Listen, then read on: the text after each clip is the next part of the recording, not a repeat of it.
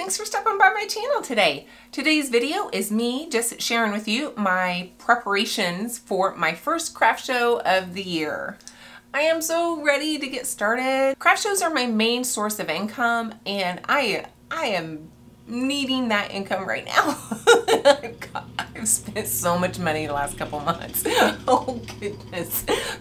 I need to do well at this first craft show. Now this is a four day over two weekends. So it's a Saturday, Sunday, Saturday, Sunday craft show. Yeah, so I thought I would just share with you my process of getting ready, how I do my inventory, how I pack up, all that good stuff. First things first is I went through and I printed off new labels. So everything on my table has what it, what it is and how much it is.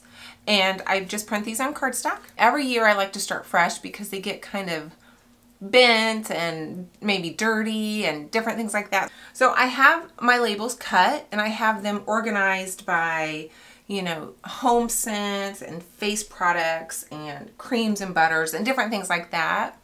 Because what I will do is as I pack up, I will pull the label and put it in my envelope. There has been more times that I've gone to a craft show where I thought I had a label and I never did. I'm going to take you into my next room where I have all of my products and we're going to start counting. I do a Google spreadsheet and I list all of my products. Now I can export those. You can export them to Excel, but I don't have Excel, so then I have to convert it over to Google Sheets. But you can export all of your products out of SoapMaker 3. And then I just organize them how I like for them to be organized. And I like them to be alphabetized. and I am very particular about the order. but I have those and I'm just going to be marking how many I'm putting in each container so that I can then put those in the Google Sheets when I'm all done boxing up. All right, I don't know if you're going to be able to see this sheet, but I've already packed up my goat milk lotions. So I have three lavender and three sea salt orchid that I'm taking. So I'm just marking this with a pen for now. Same thing with my liquid um, soaps, three and three. So I will take this and put my markings on the computer so it looks better than my handwriting. So I have these totes. I really tried to find something lighter, but honestly, soap is heavy and I can get about six boxes in here and this is actually just the perfect size to hold six boxes of soap. So, And it has good handles. So I've kept them. I use them sometimes for my displays, sometimes not. But I'm going to pack up soap first. So here's a my box of Indian sandalwood. Now I will not take all of my soap to a craft show. If I have to restock over the weekend or between the two weeks, I will. But I usually take anywhere from 10 to 15 bars to a craft show. And I rarely ever sell out of a soap scent. Uh, so I'm going to start with 12 just because this is over four days. I'm just going to take out everything but 12 and then put them in the box. I'm going to find Indian sandalwood. All right, I have more boxes than I normally do of soaps. Uh, the top two boxes let me just show you those. These are my last chance. I say get them before they're gone. These are just random soaps that I have probably five or fewer bars of each. But here's my shelf afterwards. and I have my liquid soap starting in this big blue tote. I have a couple liquid soaps and then these are my liquid soap and lotion sets. So I think um, so, since my blue tote is down, I'm going to get started on my scrubs and my creams. So guys, when I am going to shows, I really like to do everything in threes if I can. So I will pull three of every size of every scent of my creams, my scrubs, my shampoo bars, everything. I usually just take three. And on a bigger show like this next one, which is a four day show, a lot of times I will do five of each size. I'm going to do five this time. I need to make more creams too. I, I do not have near enough lavender or pink quartz. I only have one free weekend and I am really, really busy with family next weekend. So I'm really not sure if I'm going to get to making any creams at all. But I'm just going to pull what I can and go from there. and count. Scrubs and creams are in my big blue tote. Next I'm going to do my wax melts and I have one tote or crate from Walmart left. I'm going to put those in there. I'm getting out of breath. and we'll just kind of keep plugging away. I'm pulling my signs as soon as they're in the totes. I'm putting them in my envelope here. I have a note that I need um, to make a sign. I have one uh, sample tester. This is smell through biodegradable film, but I do find that people sometimes struggle smelling completely, so I will cut a little slit in, in between one of these little bricks. For wax melts, I'm going to be taking eight of each packaged scent, and then I'm going to still count that I have the one tester because people will buy that. When I'm out of wax melts, they'll still buy that tester and they're happy to do that. So, Okay guys, this is actually day three and I realized that I kind of cut off at the packing up to then day two and I didn't tape anything in between. So what happened is I packed up my car quite full. I couldn't get all of my uh, products in there so my husband had to bring the truck to bring the rest of my products but my display items take up a lot more room than uh, they used to. I'm on a corner booth, which I really like, but with my new setup with this rack behind me, I really can't utilize the corner like I used to. I used to be able to do shoppers on both sides, and uh, with this rack, the only way I could do that is to have this rack facing out away from me, and I can't see what people are looking at I mean, there's a concern for theft, but more than that, it's engagement. I can't like say, hey, there's a clearance rack on the bottom, or hey, what's your favorite scent? Those kind of things.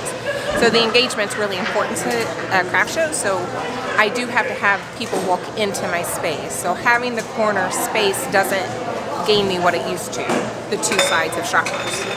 So let me show you the rack. Now I will say guys that my wax cells, wax melt cells have plummeted since I got rid of the clamshells. And I don't know if people aren't just recognizing what that is. I really don't know. Uh, but they have really plummeted. So I did purchase this sign above to let people know exactly what this rack is.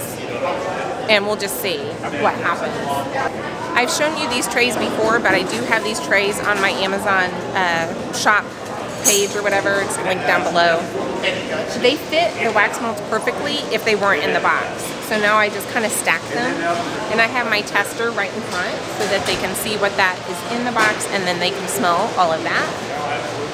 This rack, I will also try to find where I bought that. I paid way too much money for it. I, I think I paid over $500 for this rack and we thought the black was metal and it's wood. So, way too much money, but I do, do really like this rack. I think it really adds to my booth a lot. Let me take the camera off and I'll show you some more. So these are just your standard crates I got from Walmart that I stained. I got this rack here. It's tall. It's a little janky, but I liked how it was a very small footprint and it had some height to it. I got that at At Home store. All my soaps are in shoe boxes. These are youth shoe boxes I get from Uline. And at one point, I changed this out. Let me show you how I had it. I kind of had my soaps like that with a little tag in front showing what it was. But my husband and I both agreed that it didn't uh, draw the eye like the shoe boxes do, so we went back to the shoe boxes. The gain of that is these shoe boxes take up a lot of space in my car, and I, I could put a lot of soaps in a small amount of space. But the shoe boxes are better, and we're going to keep them. And then over here, more rack crates from Walmart. And then I got this, I don't know if you're to see it very well, from At Home. It's just this shelf. It's got little casters on it that doesn't really do much for me, but I think it's cute. And it holds all my creams and scrubs. I have these little tubs. I forget where I bought those years ago. I have my solid bubble bath in this tub I think it looks really cute and is very eye-catching. So I have this just for display. So just showing you that this is what they purchased with all the ingredients and everything. I got this at TSC last year. I think it's cute and it matches my bathtub. got my bathtub at Big R Guys and that is no longer a store, I don't believe. I think they're out of business. And because I am on a corner, I do have everything on this rack turned towards this outside corner just so people can see what's on this rack. And then I can say hey I have testers on this other side if you want to come in. And then that's what they they will do. They'll come over here. But I have little pots of testers so people can smell those. And down here I have like clean sticks little testers of all my creams in front of those and I have smell testers for my butters and my luxury lotion bars and then that's how I have my lip balms now. I used to have my lip balms in the tub, but I changed it to this so that they're organized. It's the same thing for my shower steamers. I have these just in this tub. That is more for display. On my table here, I have a box ready to go and I have my labels here. So if they want a shower steamer, I will box it and label it as I go. But I think seeing them and smelling them on the table and how cute they are is a sell factor. All right, guys, so that is my booth set up for this show. Uh, I'm pretty happy with it. Again, this is day three, but I'm going to plug in day two now and uh, let you know how I rearranged some things because I did I did move quite a bit of my products around after I got here after the first day. I realized I needed to make some changes. So I'll plug that in now and then I'll just see what I can do on the other side of that.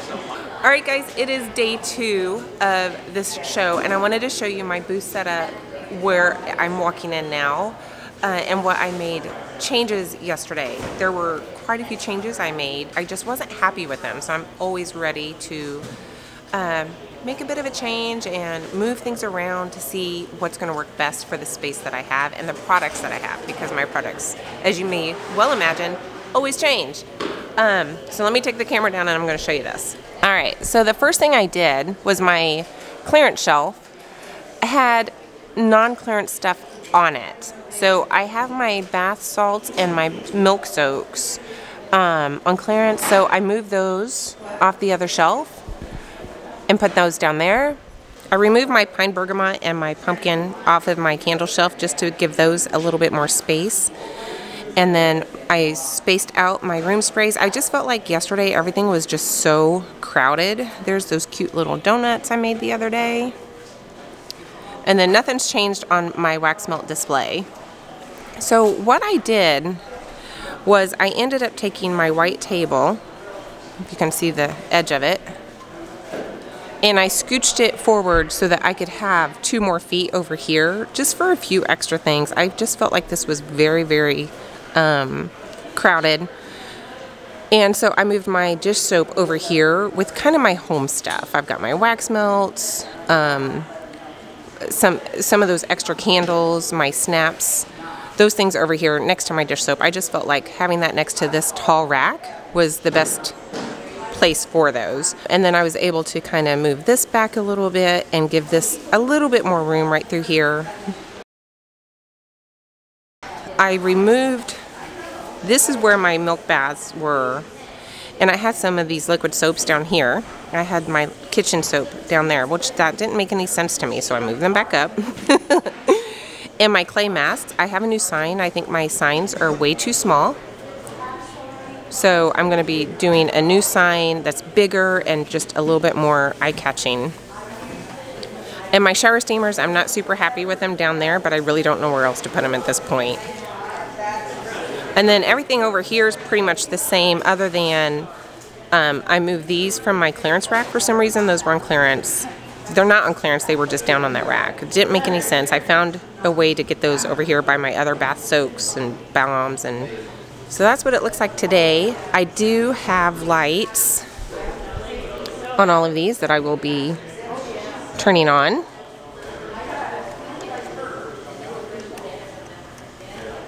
So there they are with the lights on. I bought lights for this yesterday, so those are going to go up as soon as I get off of here. And I have bought lights for under here. So here's my wax melts before lights. There they are without lights. So it just lights them up a bit. I bought lights to go under this shelf to light up my candles a little bit.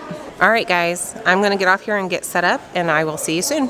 All right, guys, it's been a couple days since the end of my craft show, so I just thought I would come on here, quickly share with you how I do the end of a show kind of uh, inventory type of thing. I will share, it ended up being a pretty good craft show for me. It it probably is my highest sales of the number of years I've been to this one. So I was almost at two grand for the four days. I was probably like a hundred off of two grand. Last year it was like 1750. This year it was like closer to that 1900. So all in all, a really good show for me in this location. I call that a win. I'm really happy with it. Um, certainly not, you know, my best shows of the year or anything, but it's February and March and having that kind of sale uh, opportunity in the slowest months of the year is pretty darn good. So I'm, I'm really, really grateful that I have an opportunity to be at this craft show. I didn't tape the teardown or even my counting at the end. My husband was there that last Sunday and he doesn't want to be on tape, guys, and so we just skip it. But I do have my sheets here and I think I'm going to try to get up a little bit closer to you. In this room, it's hard for me to figure out, like, showing you something. Uh, let me see if this will work. So, here it is.